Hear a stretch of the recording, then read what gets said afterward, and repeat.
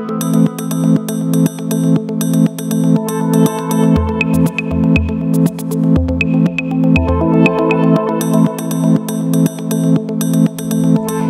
everyone, my name is Ksenia and I'm an application specialist in BioVitrum company. We are working in the field of pathology for more than 15 years and during that time we accumulated some knowledge and experience in this area. So we decided to make a series of videos in which my colleagues and I will discuss histological process, its basics, some theory and also interesting facts and some tricks and tips to make it easier. So if you are interested, keep watching. Today we will discuss paraffin, a substance which is essential for histological process at the stages of tissue processing and embedding. Nowadays, formalin-fixed and paraffin-embedded tissue is the golden standard in histology. But what do we know about paraffin? What is the difference between paraffins with different melting points?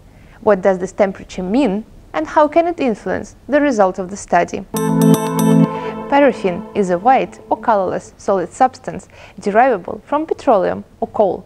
It consists of a mixture of hydrocarbon molecules containing from 18 to 35 carbon atoms.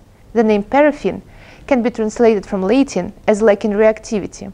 And it's true, as it does not react with the majority of chemical reagents, is insoluble in water, and soluble only in ether, benzene and xylene. In pathology labs, Paraffin is used to impregnate tissue before sectioning thin samples. The water is removed from the tissue through ascending strands of alcohol.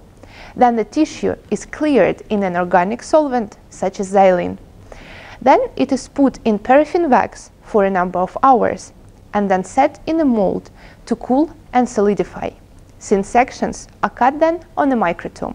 Earlier, the paraffin was prepared for embedding in the lab but nowadays, the majority of pathology labs apply ready-to-use embedding mediums. They are homogeneous and granulated paraffin, so you just have to melt it in an embedding station.